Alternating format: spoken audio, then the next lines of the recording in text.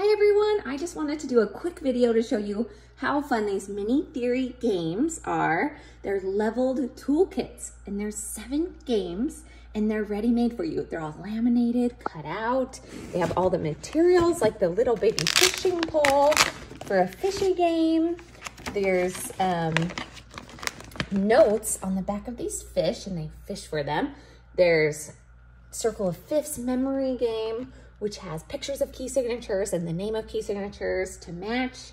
There's a mini 88 keys, which is a full-size mini laminated keyboard. And they pick cards. It comes with all the cards for you. And it comes with all these little pieces. Um, so you can play with up to four players or just one-on-one.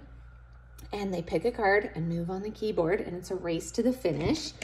And then there's mini intervals. And um, it's just like fishy notes, but fish for intervals.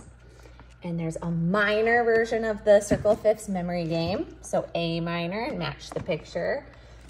And then there's a mini bingo game and it comes with all the little cards, the calling cards, which I have pulled out right now. It also comes with a mini right on, which I have given to a student. So I lend, lend these games when they need a little extra practice or need some fun working on a particular concept, I lend these games out.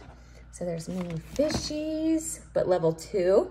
There's mini left on to work on your left hand only with key, um, with your notes and your finger numbers. There's a mini matching game. There's mini 88 keys level two, which is harder intervals. So it will say, um, do a, move a sixth interval or and there's also sharps and flats in that one, like move to an E sharp or move to an F sharp. And then there's mini fishy intervals level two, which are harder intervals. And then um, a matching game again for minors, but this is all focused on the flats. Level two is the flats, level one is the order of the sharps. And then again, I am using the mini bingo right now, but that's a level two mini bingo which is giving you the calling cards of just the pictures. So they have to look at the picture and know the name of it. Level one, it has both the name and the symbol. Level three has some unique ones in it that are a little more challenging. So these are just ledger line notes. This is a mini glissando, which is a Chutes and Ladders board. I'll pull it out so you can see how fun it is. And they move from note to note on the on this. They start here, roll the dice, say they moved a three, they have to name that that's a B. Comes with all this, a, a marker, a, um, the pieces, everything. There's mini fishy intervals. There's mini, the the circle fifths major, the circle fifths minor with the really hard key signatures. And then the level three bingo, again with all the calling, the mini bingo boards, there's four mini bingo boards, and little calling cards which just say the name of it, so they cannot see the picture of it. And then I pulled out mini triad roll because of how adorable this is. You have all major and minor triads in treble and bass clef.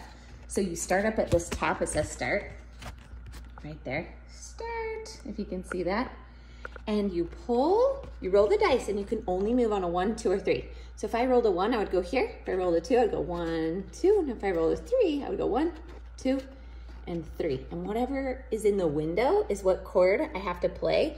If And then um, you could always just name the tonic too to make it simpler, or you could have them play the full chord progression or inversions if you want to make this more difficult. And it's super, super fun. And they try to beat a timer. So these are just ready-made fun um, theory games that are leveled. And I know you'll love playing these with your students.